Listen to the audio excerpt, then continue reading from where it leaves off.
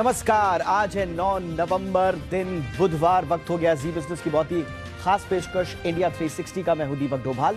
दिन भर की तमाम बड़ी और अहम खबरों का 360 डिग्री एनालिसिस करेंगे, लेकिन सबसे पहले वो खबरें जो बनी हैं आज की सुर्खी।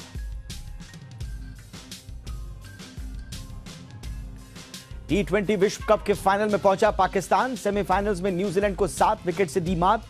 कल भारत इंग्लैंड के बीच दूसरा सेमीफाइनल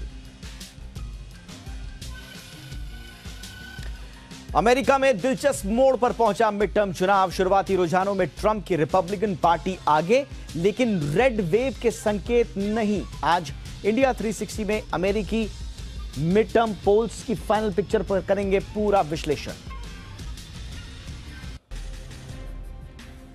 कांगड़ा की चुनावी रैली में पीएम मोदी का कांग्रेस पर तंज, कहा दो राज्यों में बची सरकार, जहाँ से आती है, वहाँ लौटना हो जाता है मुश्किल। भगोड़े नीरव मोदी के भारत प्रत्यर्पण का रास्ता साफ़ ब्रिटेन की हाईकोर्ट ने प्रत्यर्पण के खिलाफ अपील की खारिज। ट्विटर के बाद फेसबुक में कर्मचारियों पर गिरी गाज। फेसबुक की पेरेंट कंपनी मेटा ने 11,000 कर्मचारियों को नौकरी से निकालने का ऐलान किया। दिन के निचले स्तर पर फिसला बाज़ार। निफ्टी 40 अंकों से ज़्यादा गिरकर 18,200 के नीचे बंद। सेंसेक्स करीब डेढ़ सौ अंक फिसला। 48 पैसे की बड़ी तेज़ी के साथ दिन की ऊंचाई पर रुपया हुआ बंद। डॉलर का भाव इक्यासी रुपए पचास पैसे के नीचे फिसला। टाटा मोटर्स ने फिर किया निराश। दूसरी तिमाही साढ़े नौ सौ करोड़ का घाटा किया दर्ज। पीरामल एंटरप्राइजेस भी मुनाफे से घाटे में आई, मगर पिडीलाइट इंडस्ट्री के नतीजे उम्मीदों पर खरे उतरे।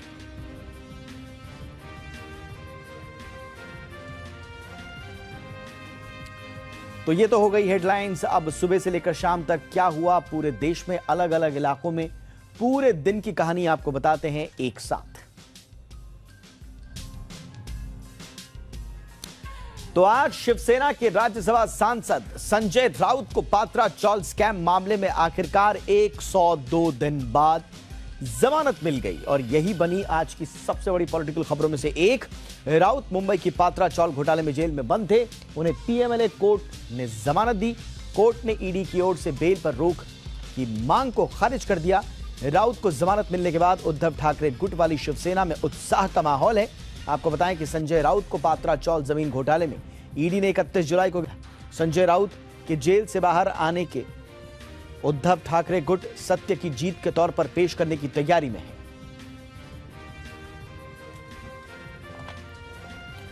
अब जी ट्वेंटी के लोगों को लेकर विवाद शुरू हो गया है। भारत जी ट्वेंटी शिखर सम्मेलन की मेजबानी करने जा रहा है।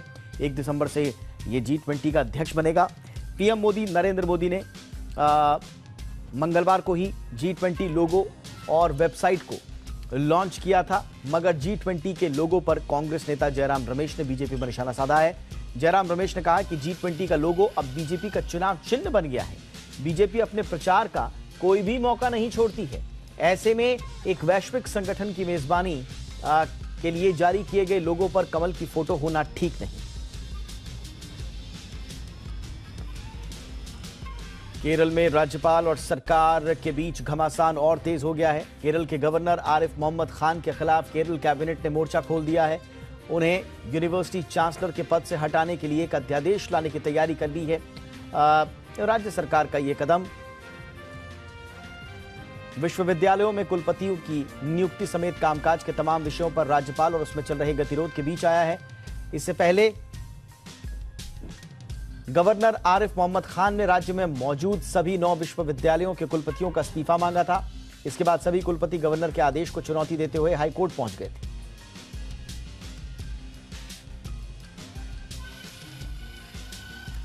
पश्चिम बंगाल की मुख्यमंत्री ममता बनर्जी बीजेपी पर हमलावर हैं। उन्होंने बीजेपी पर सीए और एनआरसी को लेकर हमला किया है। उन्होंने आरोप लगाया कि गुजरात की आगामी विधानसभा चुनावों में सीए और एनआरसी का बीजेपी इस्तेमाल कर रही है।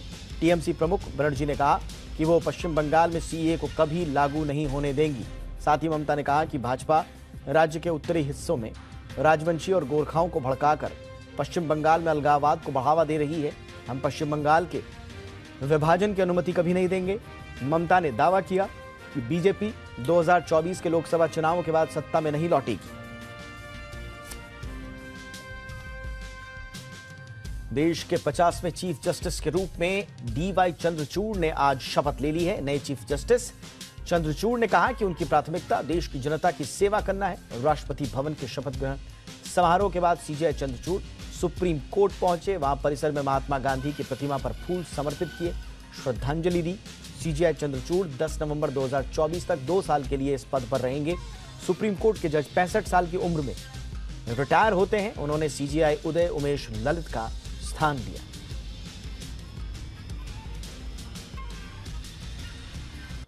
सुप्रीम कोर्ट ने आज नोटबंदी मामले की सुनवाई 24 नवंबर तक के लिए टाल दी है। कोर्ट ने सरकार के अनुरोध पर मामले की अगली सुनवाई के लिए 24 नवंबर की तारीख दी है। सुप्रीम कोर्ट में 16 2016 में हुई नोटबंदी को गलत बताने वाली याचिकाओं पर सुनवाई होनी है, जो लगातार टल रही है। मामले की सुनवाई कर रही पाँच जजों की बेंच में से पाँच जजों की बेंच ने केंद्र से यह जानकारी मांगी है। कि 500 और हज़ार के नोट वापस लेने के फैसले से पहले क्या प्रक्रिया अपनाई गई? कोर्ट के इस सवाल का जवाब देने के लिए सरकार ने अदालत से कुछ और समय मांगा था।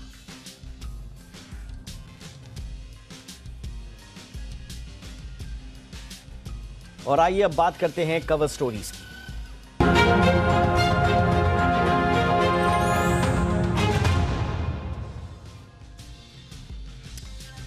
अमेरिका में मिड टर्म चुनाव की वोटिंग के बाद नतीजे आने शुरू हो गए हैं। वोटर्स, दरअसल, ये तय करने के लिए वोट डाल चुके थे कि डेमोक्रेट्स या रिपब्लिकन्स में से कौन सी पार्टी प्रतिनिधि सभा का नियंत्रण करेगी। अमेरिकी संसद की प्रतिनिधि सभा की सभी 435 सीटों और सीनेट की 35 सीटों के लिए हुए इस चुनाव में रिपब्लिकन पार्टी बढ़त बनाती दिख रही है। रुझानों के मुताबिक ट्रंप की पार्टी रिपब्लिकन आगे चल रही है लेकिन उम्मीदें इससे कहीं ज़्यादा थी खासतौर से जो एग्जिट पोल्स हुए थे। जबकि डेमोक्रेट्स जो पार्टी है आ, उसकी सीटों में ज़्यादा बदलाव नहीं हुआ है। यानी रिपब्लिकन पार्टी को बढ़त तो है लेकिन वैसी नहीं जैसा कि अनुमान लगाया जा रहा था। ट्रंप के आक्रामक रुख और जो बाइडेन की घटती लोकप्रियता के बीच ऐसा माना जा रहा था कि इस बार मध्यावधि चुनाव में रिपब्लिकन पार्टी की रेड सुनामी या रेड वेव आएगी। लेकिन इस चुनाव की जो कई भविष्यवाणियाँ हैं, वो उतनी सटीक नज़र नहीं आ रही हैं। इस बार अमेरिका के मिड टर्म इलेक्शंस में बहुत सारे मुद्दे थे। महँगाई का मुद्दा था, गर्भपात का एक बहुत बड़ा मुद्दा उभर कर सामने आया था। इसके अलावा law and order situation immigration gun culture gun policy भी इस चुनाव में अहम मुद्दे बने। अमेरिका में बीते 40 साल में सबसे ज़्यादा महँगाई की मार से जूझ रहे लोग भी इस बार महँगाई को बड़ा मुद्दा बनाते हुए नज़र आए। अमेरिकी मिड टर्म चुनाव को अमेरिकी संसद के निचले और ऊपरी सदन में रिपब्लिकन और डेमोक्रेटिक पार्टी दोनों के वर्चस्व की लड़ाई के तौर पर जाना जाता है। इसके ज़रिए दोनों सदनों के सदस्यों को चुना जाता है और इसके साथ ही राज्यों में गवर्नर्स का चुनाव भी होता है। यह चुनाव राष्ट्रपति जो बाइडेन के लिए नाक का सवाल बन गया। चुनाव में डेमोक्रेटिक पार्टी की हार होने पर उंगलियाँ बाइडेन पर उठनी तय हैं। वहीं दूसरी तरफ़ पूर्व राष्ट्रपति ट्रंप के राजने राजनीतिक भविष्य के लिए भी यह चुनाव बेहद अहम है। इसमें वो कोई चुनाव तो नहीं लड़ रहे, लेकिन उनकी जो आकांक्षाएँ हैं, खासतौर से अगले राष्ट्रपति चुनाव को लेकर कोई घोषणा उन्होंने नहीं की है, लेकिन उसको देखते हुए उनके लिए भी ये एक बहुत बड़ा लिटमस टेस्ट माना जा रहा था। उनकी साख का सवाल है। मिड टर्म इलेक्शन के नतीजे 2024 में होने वाले राष्ट्रपति चुनाव की उम्मीदवारी का आधार भी तय करेंगे। ट्रंप का राजनीतिक भविष्य इसी पर टिका हुआ है। कहा जा रहा है कि इस चुनाव के नतीजों के बाद ट्रंप 2024 में चुनाव लड़ने का ऐलान कर सकते हैं लेकिन क्या आ, वो कंफर्टेबल जो रुझानों में एक्सपेक्ट किया जा रहा था एग्जिट पोल्स में कम से कम क्या उस स्थिति तक वो कंफर्टेबली पहुँच पाएँगे? फ़िलहाल लग नहीं रहा है क्योंकि कांटे की टक्कर एक तरह से चल रही है और कुछ निर्वाचन क्षेत्रों में मतगणना में कई दिन भी लग सकते हैं इसलिए पूरी तस्वीर जो है वो बाद में साफ़ होगी। खास तौर से जो करीबी दौड़ वाले निर्वाचन क्षेत्र हैं जहाँ पर बहुत क्लोज फाइट है वहाँ पर थोड़ा समय ज़रूर लग सकता है। आ, इससे पहले आपको याद होगा जब एग्जिट पोल्स हुए थे तो उसमें इन्फ्लेशन एबॉर्शन जो थे वो टॉप इश्यूज़ थे। और कमाल की बात यह है कि 10 में से सात लोगों ने बाइडन को नो कहा था। उनका यह मानना था कि सेकेंड प्रेसिडेंशियल टर्म के लिए जो बाइडन उनकी पसंदीदा राष्ट्रपति नहीं हैं। और इसीलिए एक तरह से कहा जा रहा था कि इस बार शायद रिपब्लिकन्स की रेड वेव आएगी लेकिन अभी जो शुरुआती रुझान समझ में आ रहे हैं उनसे ऐसा लग नहीं रहा है। लेकिन रिपब्लिकन पार्टी के लिए भी जहाँ पर झटके लगे वो आपको बता दे। देखिए पेंसिल्वेनिया की सीट आ, पहले ही सीन जो है हार चुके हैं रिपब्लिकन इसके अलावा नेवाडा एरिजोना जॉर्जिया यहाँ पर कम से कम दो सीटें जीतनी होंगी। देखना होगा कि यहाँ पर क्या है। अब बड़ा सवाल यही है कि ट्रंप के लिए इन नतीजों के मायने क्या हैं? क्या जो एक्सपेक्ट किया जा रहा था उन्हीं के मुताबिक हैं? या फिर थोड़ा सा चिंता रिपब्लिकन्स के लिए ज़्यादा? क्योंकि परंपरागत रूप से आ, जो मध्यावधि चुनाव होते हैं जो पार्टी सत्ता में होती है उसके अगेंस्ट ही रिजल्ट्स आते हैं। लेकिन बहरहाल अभी जो कुछ हमारे सामने शुरुआती रुझानों में नतीजे हैं आ, उनके क्या मायने हैं इस पर बातचीत करने के लिए बहुत ही खास मेहमान हमारे साथ हैं। एम्बेसडर मंजीव पुरी सर हमारे साथ जुड़ चुके हैं पूर्व राजनयिक हैं। एम्बेसडर पुरी बहुत बहुत स्वागत है सर आपका हमारे शो पर। सबसे पहले तो सर आपकी पहली प्रतिक्रिया, जो फ़िलहाल नज़र आ रहे हैं वहाँ के नतीजे एक्सपेक्टेड लाइंस पर हैं या थोड़ा सा जॉर्ड आप देख रहे हैं रिपब्लिकन्स के लिए? देखिए, ये इसलिए हम कह सकते हैं कि बिल्कुल एक्सपेक्टेड लाइंस पे नहीं है, क्योंकि एक्सपेक्टेशन ये थी कि रिपब्लिकन्स की विन होगी और थोड़ा सा जिसको कहते हैं थोड़ी सी डिसाइसिव होगी। लेकिन अभी तक जो रिजल्ट्स हैं, वो सेनेट में बिल्कुल कांटे की टक्कर चल रही है। हाउस माने कि रिपब्लिकन की तरफ़ जा रही है। तो इसका ये कह सकते हैं कि रिपब्लिकन के लिए जो है अच्छा दिन है, लेकिन इतना भी अच्छा दिन नहीं है, जितना वो शायद समझ पा रहे थे ओपिनियन पोल्स को देख के।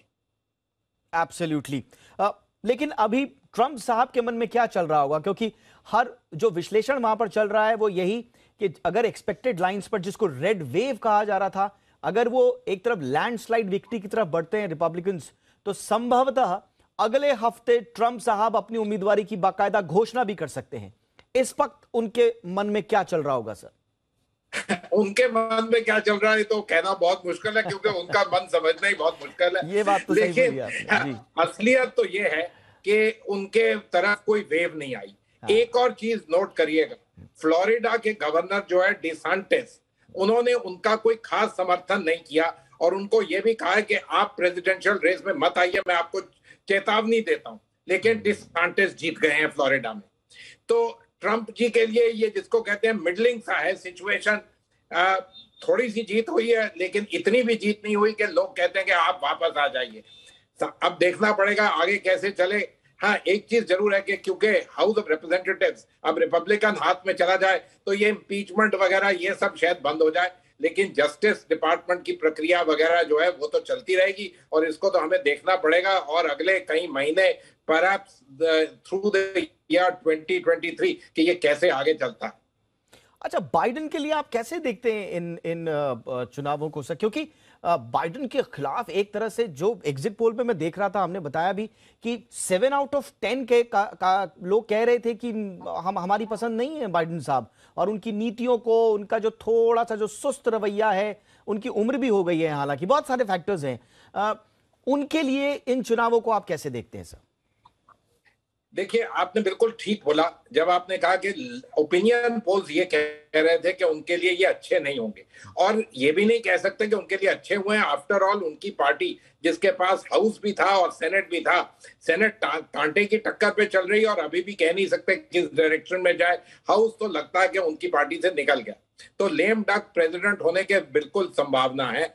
लेकिन अगर हम वोट नंबर्स देखें सीट नंबर्स देखें वगैरह तो प्रेसिडेंट बाइडन भी ये कहेंगे कि बहुत सारे लोग मेरी तरफ़ आ गए। लास्ट मिनट प्रेसिडेंट ओबामा की कैंपेनिंग उनकी कैंपेने और लोग जिसको वो कहते हैं डेमोक्रेसी की तरफ़ खड़े रहे हैं। मुश्किल तो होगा उनके साथ उनके लिए आगे चलाना, क्योंकि हाउस अगर उनके अगेंस्ट हो जाए तो जरा मुश्किल हो जाता है अपनी नीतियाँ आगे ले जानी। लेकिन वो अपनी तरफ़ से कोशिश करेंगे इसको अपनी एक किस्म की जीत प्रोजेक्ट करने की। दूसरे लोग तो अपनी तरफ़ करेंगे और वो पॉइंट आउट करेंगे कि देखिएगा सीटें तो हमने जीती आप अपनी तरफ़ से कैसे कह रहे हैं कि आपकी विक्ट्री हो गई? एब्सोल्युटली सर अब ट्रंप के लिए तो हम समझ पा रहे हैं कि थोड़ा सा अब वो सावधानी से जो है वो घोषणा जो करने वाले हैं उनके जो समर्थक हैं उनकी रैलियों में लगातार कहते रहते हैं कि दो साल अब शेष रह गए इस तरह के नारे उनकी रैलियों में लगते हैं। बहुत चाहते हैं उनके समर्थक की ट्रंप अनाउंस करें। लेकिन अब शायद अनाउंसमेंट में सावधानी बरतेंगे पूरा आकलन करेंगे अपनी स्थिति का। आ, ये मैं नहीं कह सकता क्योंकि वो इतने इम्पल्सिव आदमी हैं हाँ, हाँ। कि वो कुछ भी कर सकते हैं। इसलिए ये सब कहना तो बहुत मुश्किल होगा ये तो सिर्फ़ कोई भविष्यवाणी जो कर सकता वही कह पाएगा। चेतावनी होनी चाहिए ये अलग बात है। चेतावनी होगी ये मैं नहीं कह सकता। देखना पड़ेगा लेकिन एक चीज़ ज़रूर क्लियर है कि कोई वेव नहीं है उनकी तरफ़। और जो डेमोक्रेट्स है, वो जिसको कहते हैं फाइट बैक तो ज़रूर कर रहे हैं। और जो मेन इलेक्शन होगी 2024 में प्रेसिडेंशियल इलेक्शन होगी, उसमें जो मुद्दे होते हैं और जो तौर तरीके होते हैं, वो इतने भी आसान नहीं है प्रेसिडेंट ट्रंप के लिए। और अभी तो देखना पड़ेगा कि जुडिशियल प्रक्रिया जो है, उसमें क्या होता है वगैरह, ये सब बहुत सारे मुद्दे हैं अभी जो आगे आएँगे। अमेरिकन पॉलिटिक्स जिसको कहते हैं और भी दिलचस्प हो गया। एब्सोल्युटली सर इसमें कोई डाउट ही नहीं है। लेकिन एक चीज़ और है कि जो अब पूरे रिज़ल्ट जब सामने आ जाएँगे आ, उसके बाद शायद मैं ट्रंप की बात इसलिए ज़्यादा कर रहा हूँ क्योंकि इस बार ट्रंप को लेकर काफ़ी बज था इसलिए मैं ज़्यादा ट्रंप की बात कर रहा हूँ। तो अब रिपब्लिकन पार्टी के जो समर्थक हैं ट्रंप के जो समर्थक हैं वो थोड़ा सा अलग तरीके से भी खुद भी मूल्यांकन करेंगे ट्रंप साहब की आगे की राजनीतिक यात्रा का, सर? नहीं, आप बिल्कुल ठीक कह रहे हैं। अगर ये बिल्कुल क्लियर कट उनकी विक्ट्री हो जाती तो रिपब्लिकन पार्टी में जो लोग कहते हैं कि भाई, हम ट्रंप रिपब्लिकन है, लेकिन ट्रंप के साथ नहीं है, उनकी तो बिल्कुल बोलबाला बंद हो जाता। लेकिन अब जो है, जिसको कहते हैं मॉडरेट फैक्शंस जो है, वो भी आगे आएँगे, वो भी देखना पड़ेगा। हमें नोट करना पड़ेगा कि एक ट्रंप के बहुत बड़े सपोर्टर जो है सेनेट रेस हार गए। ये तो उल्टा हुआ। सेनेट में डेमोक्रेट्स उस सीट को ले गए, जो कि ट्रंप सपोर्टर्स के केस में था। तो ये सब देखना पड़ेगा किस तरह होता है। पॉलिटिक्स बहुत इंटरेस्टिंग रहती है। सब लोग ट्रंप के पीछे थे जब सिर्फ़ उनका नारा चल रहा था, उनकी बात चल रही थी। सब कैंडिडेट रिपब्लिकन के चाहते थे कि वो उनको सपोर्ट दे, समर्थन दे, उनके लिए कैंपेन करें।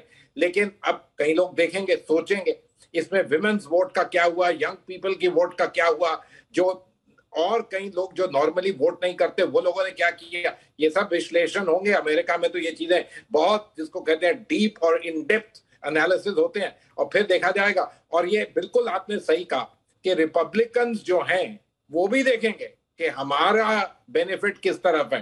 ट्रंप के साथ जाएँ या अपने इंडिपेंडेंट रहें और ट्रंप से जरा थोड़ा सा अपने आप को डिस्टेंस कर ले, वो लोग भी इसकी जजमेंट करेंगे। इतना आसान नहीं होगा किसी के लिए भी। एब्सोल्युटली सर लेकिन ऐसा इस वक्त अमेरिकन सिटीजन्स के मन में कहा यह जा रहा है सर कि बहुत स्पष्ट मुद्दे थे। महँगाई एक बहुत बड़ा मुद्दा है।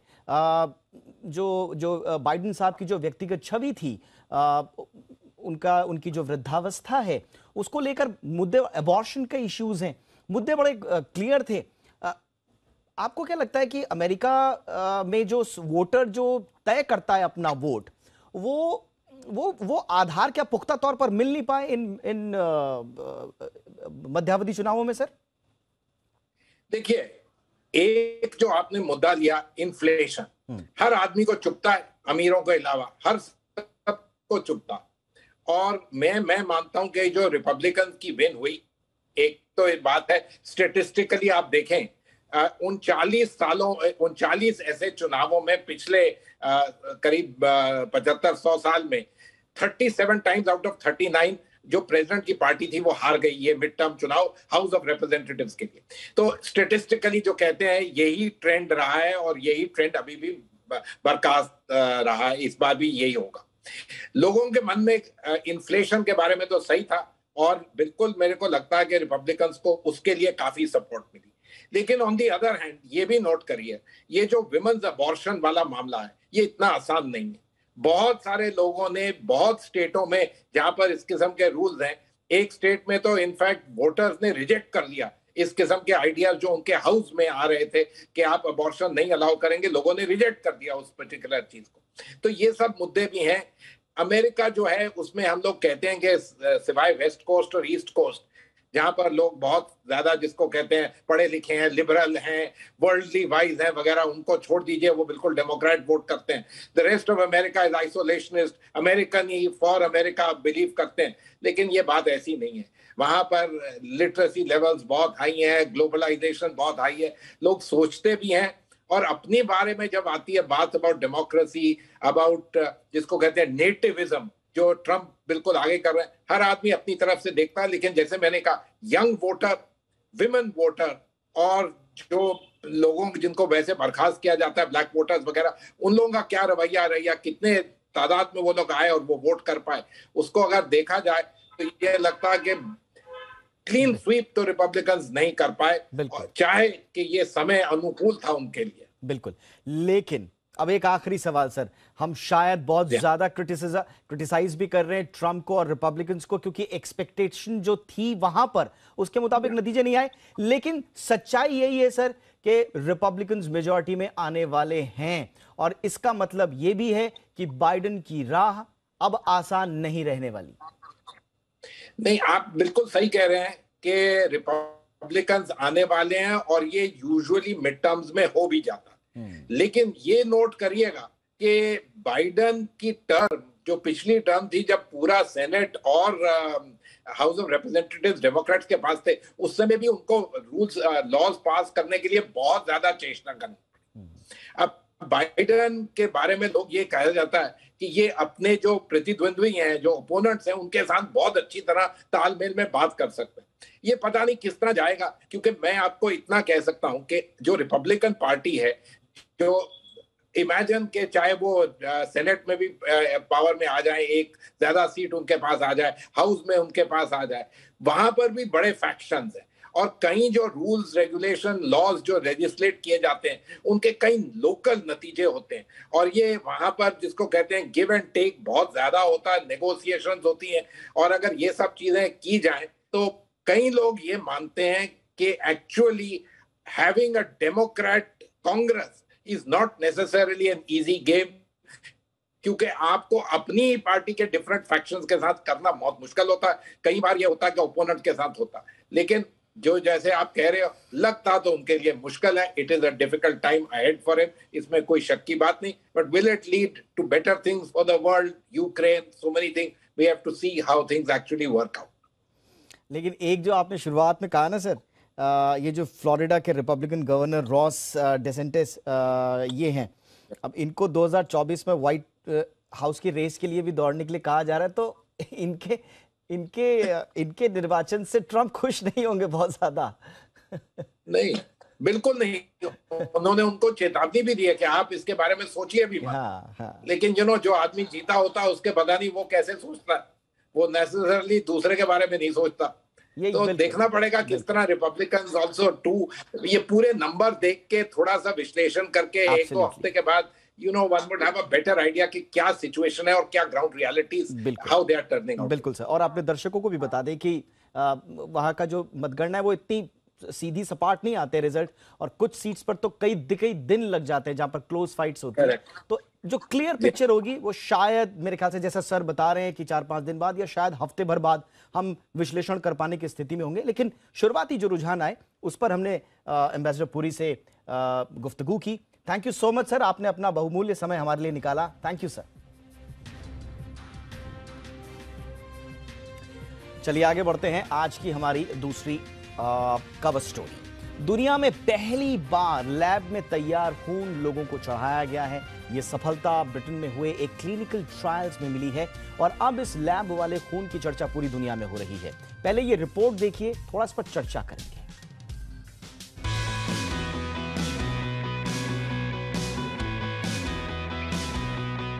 दुनिया भर में खून की कमी एक बड़ी समस्या है। उससे ज़्यादा परेशानी यह है कि लोगों को ब्लड तो मिल जाता है, लेकिन ब्लड डिसऑर्डर और दुर्लभ ब्लड टाइप वाले मरीजों को ज़्यादा भटकना पड़ता है। लेकिन ये परेशानी जल्द ही खत्म होने वाली है, क्योंकि दुनिया में पहली बार लैब में तैयार खून लोगों को चढ़ाया गया है। ये सफलता ब्रिटेन में हुए एक क्लिनिकल ट्रायल में मिली है। ब्रिटेन की कैम्ब्रिज और ब्रिस्टल यूनिवर्सिटी सहित कई संस्थानों के वैज्ञानिक इस ट्रायल में शामिल हैं। एक्सपर्ट्स का मानना है कि इससे ब्लड डिसऑर्डर और दुर्लभ ब्लड टाइप वाले मरीजों को मदद मिलेगी। लैब में खून बनाने वाली इस प्रक्रिया में रेड ब्लड सेल्स पर फोकस किया जाता है। ये फेफड़ों से ऑक्सीजन लेकर उसे शरीर के हर अंग तक पहुंचाते हैं वैज्ञानिक सबसे पहले एक व्यक्ति के खून का नॉर्मल डोनेशन कराते हैं। इसकी मात्रा लगभग 470 मिलीमीटर होती है। इसके बाद चुंबक के ज़रिए सैंपल से उन स्टेम सेल्स को अलग किया जाता है, जो आगे जाकर रेड ब्लड सेल्स बन सकते हैं। स्टेम सेल्स बोन मैरो में होते हैं, जिससे खून के तीन अहम cell red blood cells white blood cells और प्लेटलेट्स बनते हैं। अगले स्टेप में वैज्ञानिक स्टेम सेल्स को प्रयोगशाला में भारी संख्या में विकसित करते हैं। इसके बाद उन्हें रेड ब्लड सेल्स में कन्वर्ट होने के लिए गाइड किया जाता है। पूरी प्रोसेस में करीब तीन हफ़्ते लगते हैं। इस दौरान पाँच लाख स्टेम सेल्स से पचास अरब रेड ब्लड सेल्स बन जाते हैं। इनसे पंद्रह अरब रेड ब्लड सेल्स को फ़िल्टर किया जाता है, जो ट्रांसप्लांट में काम आ सकते हैं। रिसर्च में अभी दो लोगों को शामिल किया गया है। हालाँकि पूरा ट्रायल 10 सेहतमंद लोगों पर किया जाएगा। अब बात इसकी कीमत की। ब्रिटेन के National Health Service and Transplant के मुताबिक। एक औसतन ब्लड डोनेशन की कीमत 145 यूरो, यानी तेरह हज़ार छह सौ छाछठ रुपए होती है। लैब में तैयार किए जाने वाले खून की कीमत इससे तो ज़्यादा ही होगी। संस्थान का कहना है कि अभी इस तकनीक की कोई कीमत तय नहीं की गई है, लेकिन जैसे जैसे टेक्नोलॉजी आगे बढ़ेगी वैसे वैसे इसकी लागत भी घटेगी। Bureau report, Zee Media. और इस वक्त बहुत ही खास मेहमान इस पर चर्चा करने के लिए हमारे साथ जुड़ चुकी हैं। डॉक्टर संगीता पाठक हमारे साथ हैं एसोसिएट डायरेक्टर हैं और हेड हैं ट्रांसफ्यूजन मेडिसिन मैक्स हॉस्पिटल से। मैम बहुत बहुत स्वागत है डॉक्टर संगीता आपका हमारे शो पर। मैम ये, ये कितना कितना इम्पोर्टेंट कितना सिग्निफिकेंट ये ब्रेक थ्रू है मेडिकल साइंस में? ये थोड़ा सा आ, अगर आप हमें इलेबोरेट कर पाए तो। सो so, अगर ये इस तरह का ब्लड आता है आप सोचिए हम लोग जो इंडिया में जैसे we are struggling to meet the needs और इंडिया ही नहीं सब्जेक्ट तो जो जिन पेशेंट्स को मल्टीपली ट्रांसफ्यूज करना पड़ता है like cancer patients myelodysplastic syndrome के patients then leukaemia patients sickle cell thalassaemia endless list है जिसके अंदर बार बार बार बार खून मरीज़ को चढ़ाना पड़ता है। तो अगर ये वाली खोज अगर आ गई तो आप सोचिए मीन्स कितना इजी हो जाएगा कि आप सिर्फ़ स्टेम सेल्स ले रहे हैं डोनर से और वो भी उसकी थ्री टू फाइव एमएल बस खाली। वो आप लैब में यूज़ कर रहे हैं to grow billions of red blood cells तो ये तो this would be a breakthrough actually अगर ये सफल होता है तो ब्रेक थ्रू होगा ये और बहुत बहुत बहुत बड़ी उपलब्धि होगी। इस सदी की अगर होता है। एग्जैक्टली मैम लेकिन मैम अभी इसको अभी जो जो जो जिस स्थिति में अभी ये पूरा मामला है अभी सिर्फ़ दो लोगों पर यह किया गया बताया जा रहा है कि शायद दस स्वस्थ लोगों पर भी इसके ट्रायल्स होंगे अभी पूरी तरह से। इसको आम लोगों के लिए सुलभ हो पाने में अगर सही दिशा में आगे बढ़ता है ये कितना वक्त लग जाएगा? अब ये देखिए ये सबसे पहला एक्सपेरिमेंट है एक तरह का। एक्सपेरिमेंट्स पहले भी होते रहे हैं, पर इस तरह का एक्सपेरिमेंट अभी तक नहीं हुआ है। एंड ये जो रिपोर्ट है, जो अब पब्लिश हुई है ये वाली रिपोर्ट यही वाले professor and the scientist have been giving there was an article in twenty twenty one also ये जो इनका काम था उस पर एक आर्टिकल आया था ट्वेंटी ट्वेंटी वन में भी। पर ये जो मतलब मीन्स जो काम था इनका डिले हो गया बिकॉज़ ऑफ़ कोविड ऑल्सो बीच में कोविड आ गया तो ये बहुत प्रॉब्लम हुई इन लोगों को। एंड राइट नाउ जैसे आपने दिखाया भी और कहा भी राइट right नाउ सिर्फ़ दो लोगों को ट्रांसफ्यूज करा गया है। hmm. सिर्फ़ दो लोगों को। और उन दो लोगों को भी कैसे करा गया है कि just three two three two five ML L मतलब लाइक जो आर्टिकल बताता है just a teaspoon full of blood जो है वो इन पेशेंट्स को ट्रांसफ्यूज करा गया। They are not patients actually they are healthy people they are trying to see कि क्या होता है इनमें ट्रांसफ्यूज करने के बाद। और अभी तक इनके अंदर कोई एडवर्स इफ़ेक्ट नहीं मिला है। अभी hmm. बहुत अर्ली चीज़ है ये बोलने के लिए पर फिर भी अभी तक कोई एडवर्स इफ़ेक्ट नहीं आया। पर जो एक्सपेरिमेंट uh, है आई I मीन mean, जो ट्रायल है वो मीन्स uh, इंटरवल्स में होगी। तो राइट right नाउ उन्होंने ट्रांसफ्यूज कर दिया उसके बाद चार चार महीने के इंटरवल पे वो ट्रांसफ्यूज करेंगे फिर से। एंड उसका इफ़ेक्ट को स्टडी करेंगे। And then later on they are going to increase the number of means recipients to right now because it's two then they are going to increase the number of donors because वो वो recipients uh, क्योंकि अलग अलग लोगों में वो उसका effect भी देखना चाहेंगे। तो ये अभी बहुत बेसिक प्राइमरी स्टेज पर है ये एक्सपेरिमेंट अभी एंड uh, आप कहते हैं कि आम लोगों तक कैसे पहुंचेगा तो अभी तो ये बहुत बहुत पहुँच से दूर है क्योंकि अभी तो ये वेस्टर्न वर्ल्ड में आया है। आप ये मानिए कि हमारे यहाँ आते आते अभी तो टाइम लगेगा इसमें। पहले तो वेस्टर्न वर्ल्ड में ही ये स्टैब्लिश होगा और सारे इसके जितने भी कायदे कानून जो भी है वो डेवलप होंगे और फिर वो हमारे तक आएगा। तो सोचिए अभी तो टाइम इस सब में टाइम लगेगा। बिल्कुल मैम बिल्कुल क्योंकि जो ह्यूमन ब्लड भी हम ट्रांसफ्यूज करते हैं उसमें भी इतनी सारी प्रक्रियाएँ होती हैं वो भी ऐसे सीधे से नहीं दिया जाता। उसके लिए भी एक सेट रूल्स हैं सेट प्रोटोकॉल्स हैं। तो स्वाभाविक रूप से एक कृत्रिम खून को चढ़ाने के लिए या ट्रांसफ्यूज करने के लिए तो बहुत सारी प्रक्रियाओं का भी बनाना पड़ेगा अंतर्राष्ट्रीय स्तर पर भी हमारे घरेलू स्तर पर भी और उसके बाद हम आगे बढ़ेंगे। एक जो इससे जुड़ा हुआ सबसे आम सवाल है सबसे ज़्यादा लोग जो पूछ रहे हैं इसकी कॉस्ट को लेकर क्या इस स्थिति में हम ये अनुमान लगा पाने की स्थिति में है मैम कि ये कॉस्ट इफ़ेक्टिव होगा या थोड़ा महँगा पड़ेगा या कितना पड़ेगा? अब because it will be grown in a lab और ये डोनर्स के थ्रू लिया जाएगा। उनका स्टेम सेल है। नॉर्मल ब्लड नहीं है ये जो लिया जाएगा डोनर से। एक स्पेशल प्रोसेस होता है स्टेम सेल कलेक्शन क्योंकि हम लोग भी करते हैं मतलब ब्लड बैंक सब करते हैं। स्टेम सेल कलेक्शन में स्पेशलाइज्ड प्रोसीजर है वो, जिसमें स्टेम सेल कलेक्ट करे जाते हैं। ऐसा होल ब्लड डोनेशन नहीं है वो, कि हमने ब्लड लिया और निकाल लिया उसमें से। It is not special procedure होता है जिसमें स्टेम सेल निकाले जाते हैं। तो वो अपने आप में एक महँगा प्रोसीजर है। उसके बाद वो स्टेम सेल ले जाके फिर वो ग्रो करेंगे अपने लैब में। वो अगेन एक स्पेशलाइज प्रोसीजर है। एंड देन बिलियंस में चाहिए रेड ब्लड सेल ग्रो करने के लिए। फॉर वन यूनिट बिलियंस में चाहिए। छोटा मोटा नहीं चाहिए। तो the cost which would be involve would be very huge means it will not be at a lower price as what we get the normal unit of blood especially in India. आपने बताया अभी जैसे कि UK और वहाँ पर blood का cost कितना हाई है? हमारे यहाँ नहीं है। हमारे यहाँ जो कॉस्ट है वो काफ़ी कम है as compare to the western world बिल्कुल। पर जब ये वाला ब्लड आएगा बिकॉज़ सारा कुछ स्पेशलाइज्ड होगा ह्यूमन ब्लड नहीं है कृत्रिम है तो ऑब्वियसली कॉस्ट इन्वॉल्व होगी उसमें। और वो बहुत ज़्यादा होगी। मुझे लगता है मैम आपने बहुत ही आसान भाषा में हमारे दर्शकों को ये पूरा कृत्रिम रक्त का जो पूरा कहानी है ये समझा दी। Thank you so much ma'am आपने बहुमूल्य समय निकाला हमारे दर्शकों के लिए। Thank you so much doctor Sangeeta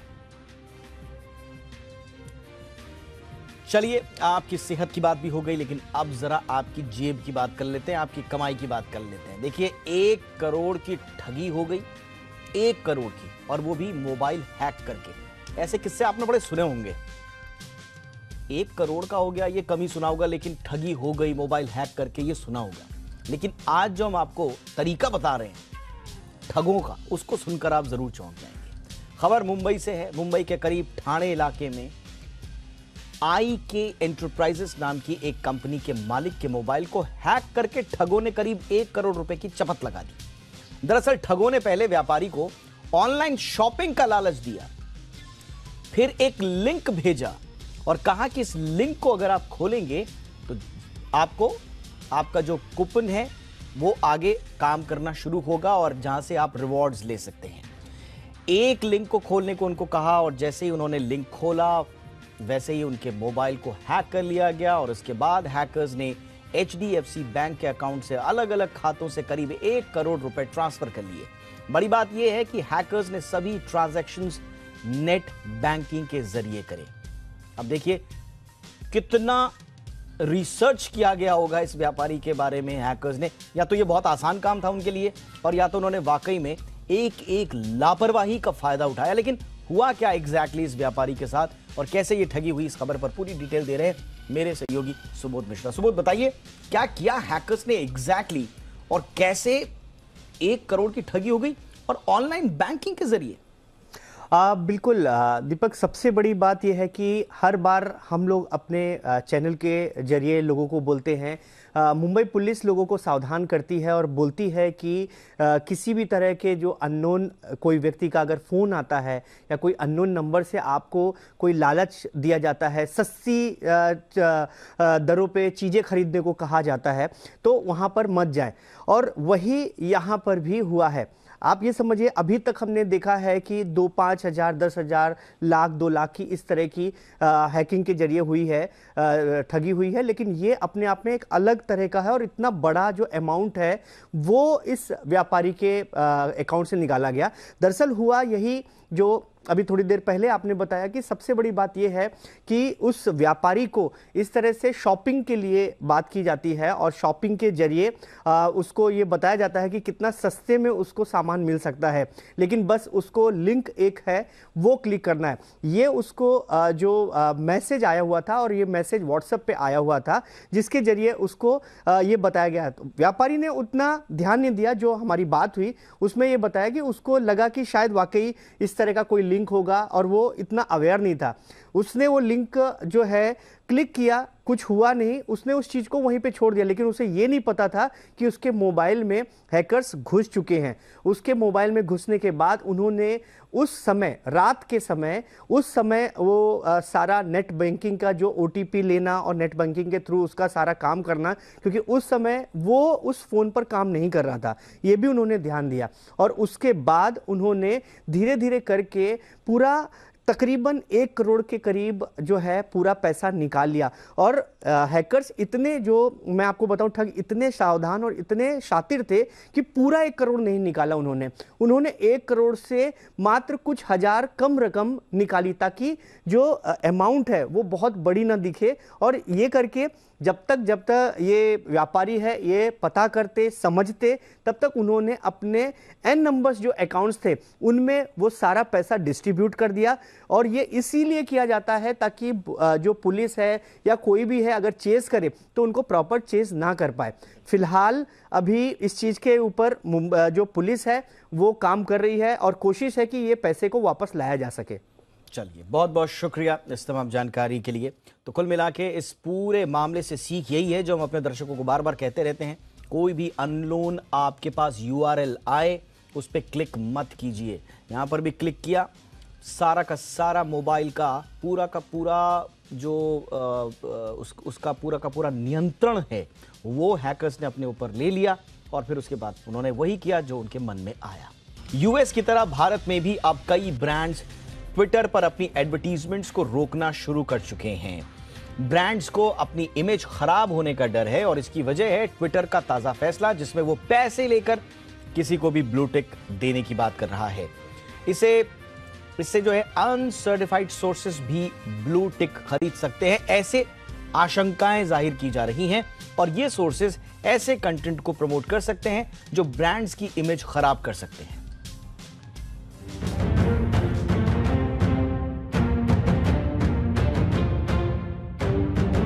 General Motors Audi Volkswagen Pfizer Lamborghini और पोशा समेत कई ग्लोबल ब्रांड्स के बाद अब कई भारतीय ब्रांड्स ने भी ट्विटर पर अपनी एडवर्टीजमेंट सस्पेंड कर दी है। इस कड़ी में पहला नाम है मॉन्डल्स इंडिया का जो भारत में कैडबरी बॉनवुटा जैसे ब्रांड्स की मालिक है।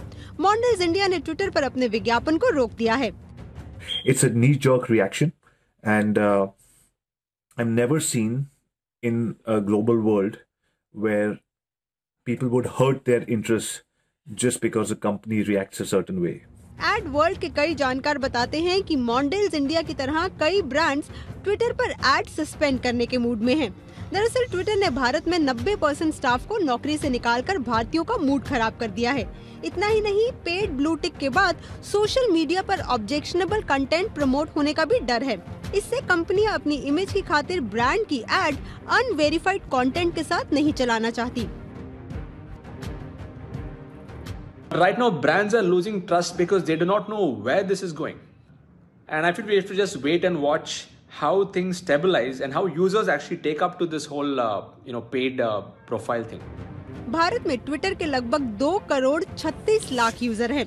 भले ही देश में ट्विटर पर एड स्पेंड यूएस के मुकाबले कई गुना कम हो लेकिन अगर यूएस के बाद भारत में भी ट्विटर के खिलाफ आवाज़ उठ रही है तो ये सोशल मीडिया नेटवर्क की इमेज पर एक बड़ा सवाल या निशान है चौवालीस बिलियन डॉलर में ट्विटर को खरीदने के बाद एलॉन मस्क ने ब्रांड्स का भरोसा जीतने के लिए ओपन लेटर भी ट्वीट की थी। उन्होंने भरोसा जताया था कि साइट हेल्दी डिबेट और कंटेंट को प्रमाणित करेगी। एलॉन मस्क ने लोगों को ट्वीट करके बताया कि ट्विटर पर user engagement all time high पर है, लेकिन इसके साथ साथ एड रेवेन्यू भी काफ़ी हद तक गिरा है। अब मस्क भले ही कितनी भी अश्योरेंस दे, लेकिन ये तो आने वाला टाइम बताएगा कि ट्विटर पर हेल्दी डिस्कशन प्रमोट होती है या फिर अनवेरीफाइड ऑब्जेक्शनेबल कॉन्टेंट जिसकी वजह से ब्रांड्स ने अपनी एड्स को पॉज मोड पर डाला है। एक तस्वीर जी मीडिया मुंबई पिछले कुछ दिनों से सोशल मीडिया और टेक की दुनिया में तहलका मचा हुआ है क्योंकि ट्विटर के टेक ओवर के बाद सीईओ इलॉन मस्क ने प्लेटफॉर्म के कर्मचारियों को अचानक निकालना शुरू कर दिया। अब ट्विटर के बाद फेसबुक की पेरेंट कंपनी मेटा ने 11,000 कर्मचारियों को नौकरी से निकालने का फैसला किया है। कंपनी के मुताबिक कर्मचारियों की छटनी का फैसला लागत में कटौती के लिए किया गया है।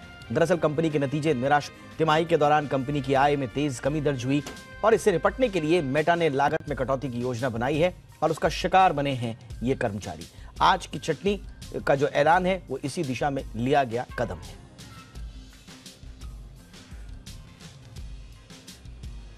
और आइए बात करें बाज़ार की। बाज़ार आज गिरकर बंद हुए। सेंसेक्स एक सौ इक्यावन अंक गिरकर इकसठ पर बंद हुआ।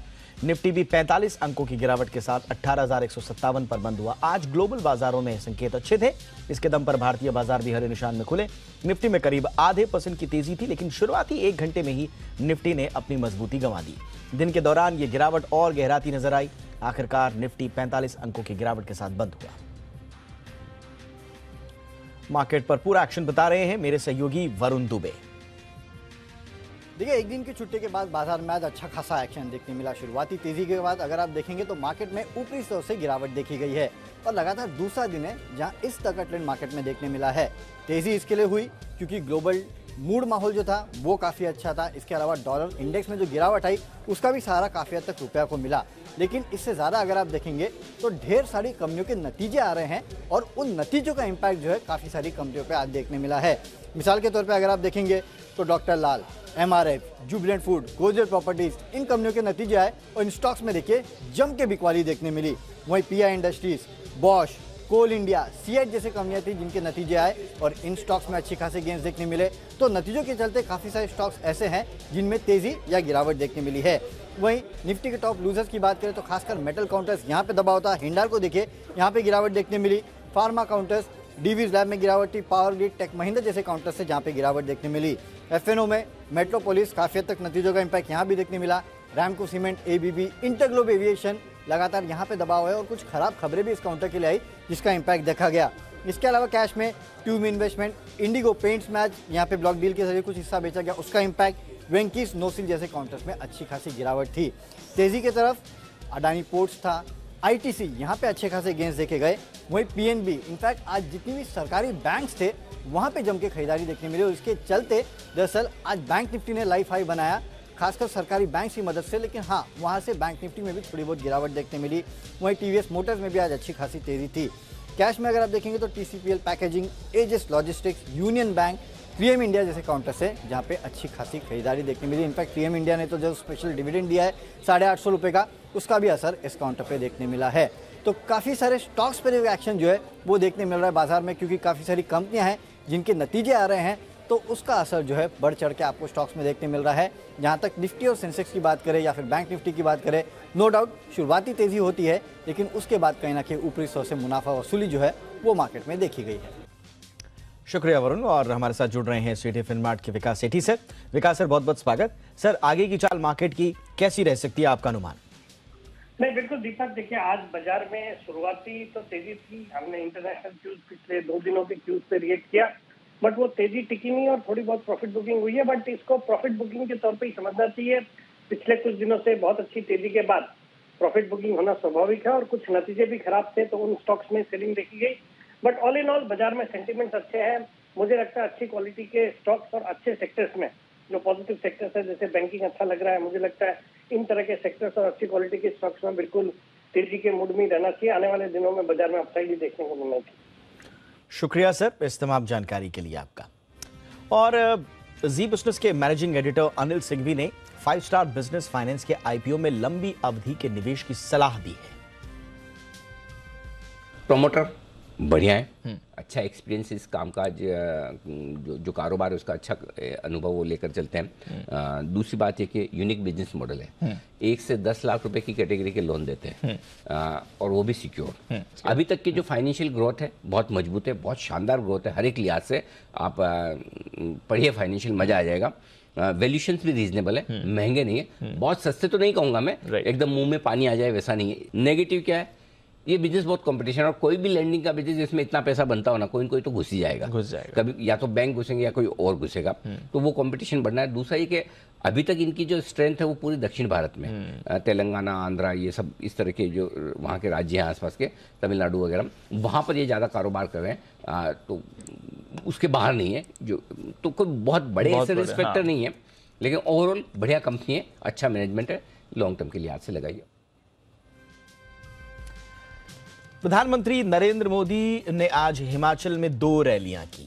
पीएम ने कांगड़ा की चुनावी रैली में कांग्रेस पर जमकर निशाना साधा। पीएम ने कहा कि कांग्रेस की अब सिर्फ़ दो राज्यों में सरकार बची है।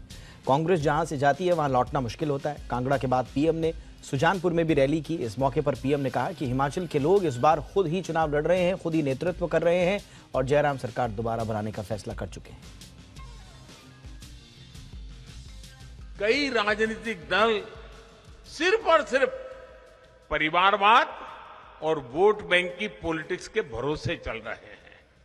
इसलिए बीजेपी की सरकारों का जैसे जैसे लोगों को अनुभव आता है, लोगों का विश्वास बढ़ता जाता है और बार बार आशीर्वाद मिलता रहता है। जी ट्वेंटी के लोगों में कमल के इस्तेमाल पर सियासी जंग शुरू हो गई है। चुनावी मौसम में कमल पर कांग्रेस और बीजेपी में वार पलटवार का दौर शुरू हो गया है। कांग्रेस ने नेहरू की याद दिलाकर बीजेपी को नसीहत दी तो बीजेपी ने भी पलटवार करते हुए पूछ लिया कि क्या कमल राष्ट्रीय पुष्प नहीं है? जी ट्वेंटी के लोगों पर सियासी बवाल। लोगों में कमल चिन्ह पर कांग्रेस को ऐतराज। कमल के इस्तेमाल पर कांग्रेस ने सवाल उठाए। मंगलवार को प्रधानमंत्री नरेंद्र मोदी ने जी ट्वेंटी की अध्यक्षता का लोगो थीम और वेबसाइट को लॉन्च किया।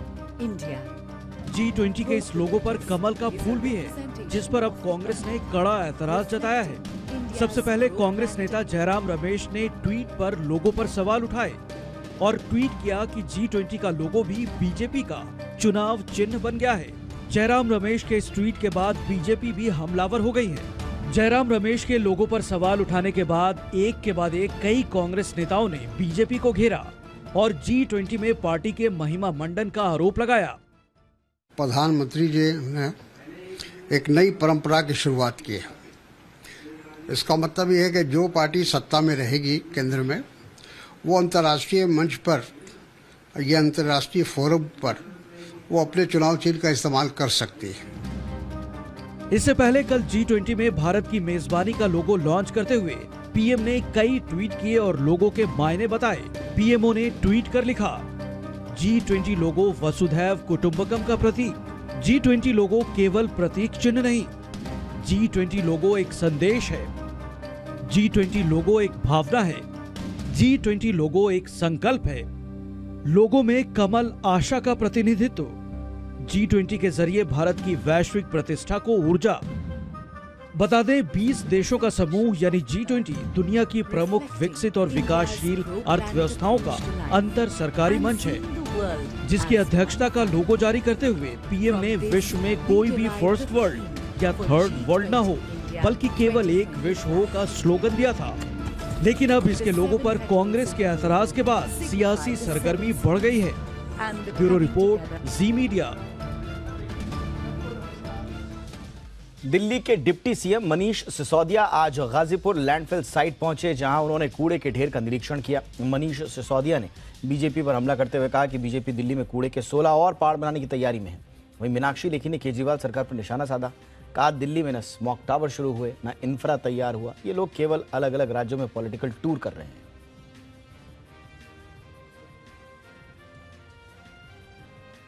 राजनीतिक टूरिज़्म पर अन्य राज्यों का भ्रमण करते हैं, लेकिन दिल्ली वालों का पैसा उन जगहों पर खर्च होता है एडवर्टाइजिंग पर खर्च होता है, लेकिन दिल्ली की जो ज़रूरत है, उसके काम के लिए वो पैसा खर्च नहीं होता।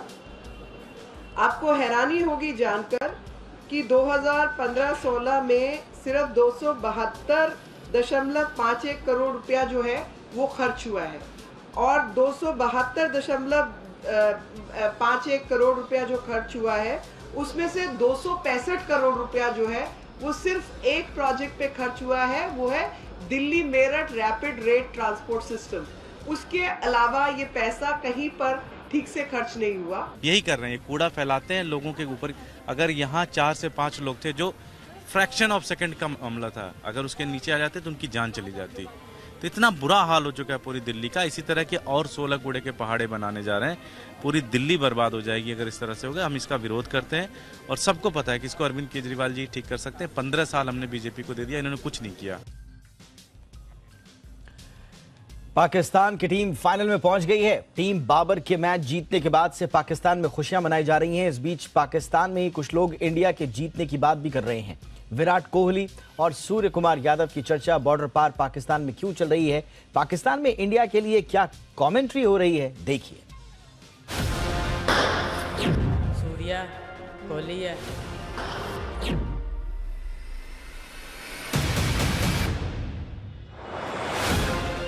पाकिस्तान में कैमरे पर रिकॉर्ड टीम इंडिया की तारीफ़ सुनेंगे तो हैरान रह जाएँगे। इन पाकिस्तानियों को भारत की तारीफ़ करने के लिए पैसे नहीं दिए गए हैं। लेकिन जब क्रिकेट की बात आती है तो इन्हें टीम बाबर से ज़्यादा मैन इन ब्लू, यानी टीम इंडिया पसंद है। पाकिस्तान में इस्लामाबाद, लाहौर और कराची तक यही चर्चा है कि सेमीफाइनल और फाइनल के बाद वर्ल्ड कप इंडिया को ही मिलेगा। क्रिकेट देखने वाले किसी भी पाकिस्तानी से सवाल पूछो तो वो टीम इंडिया के मैच जीतने वाले खिलाड़ियों का नाम गिनाना शुरू कर देगा। और इस लिस्ट में सबसे पहला नाम है विराट कोहली। पाकिस्तान में इस समय आपको दो तरह के क्रिकेट फ़ैन मिलेंगे। पहले वो जो टीम इंडिया के जीतने की दुआएँ मांग रहे हैं। और दूसरे वो हैं जो टीम बाबर को अपना खेल ठीक करने की सलाह दे रहे हैं। विराट कोहली सूर्य कुमार यादव, अर्शदीप सिंह, टीम इंडिया के इन स्टार प्लेयर्स का नाम सुनते ही पाकिस्तानी तारीफ़ शुरू कर देते हैं। ऐसा लगता है मानो पाकिस्तान के लोगों को अपनी टीम से भी ज़्यादा इन पर भरोसा है। इंडिया कौन से बैट्समैन इंग्लैंड को तंग कर सकते हैं? के राहुल भी फॉर्म में वापस आ गया उसने दो मैचों में 50 की है ठीक है। फिर उसके बाद रोहित शर्मा है विराट कोहली है सूर्या कुमार यादव है हार्दिक पांड्या है काफ़ी बड़ी साइड है उन लोगों की। कुल मिलाकर पाकिस्तान में यही हल्ला है कि इंडिया के खिलाड़ी स्कोर कर रहे हैं।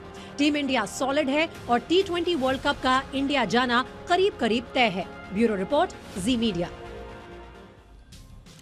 इसी के साथ इंडिया 360 में। आज बस इतना ही। हैशटैग याद रखिए। हैशटैग जी इंडिया 360 कोई राय, कोई सुझाव हो तो ज़रूर भेजिएगा। नमस्कार।